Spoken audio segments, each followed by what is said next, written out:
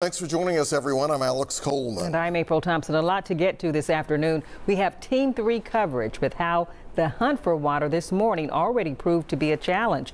And we'll check in with Tyler to find out if temperatures will be rising anytime in the near future. But first, we're going to check in with WREG Shay Arthur. She is live at the water distribution site with more on what you need to know about this huge boil water advisory. What's the latest, Shay? Hey, April. Hey, Alex. Yeah, you said it right there. This is huge. This affects hundreds of thousands of people across the Memphis area.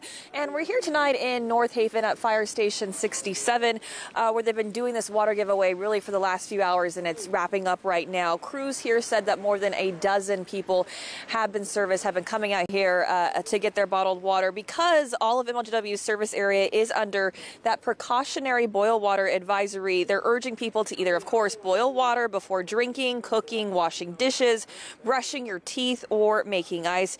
And you should boil that water for at least a minute. If you don't boil that water, then you should be using bottled water. But there are some people, and I've talked to some of these people, who have been forced to boil snow in order for them to flush their toilets because they don't have any water at all.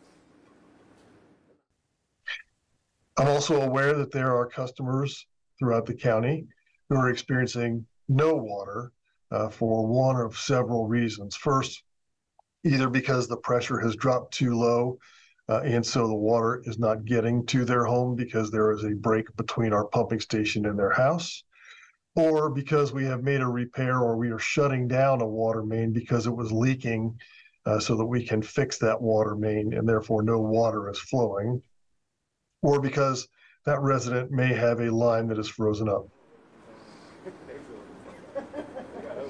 April, Alex, it's unclear when this precautionary boil water advisory will be lifted. MLW says they could open more bottle, bottled water distribution sites. Of course, we'll keep you posted as we learn more. We're live in Northaven tonight. Shay Arthur, WREG, News Channel 3.